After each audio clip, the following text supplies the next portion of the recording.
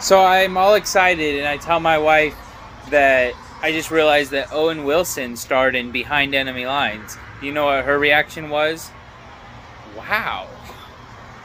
True story.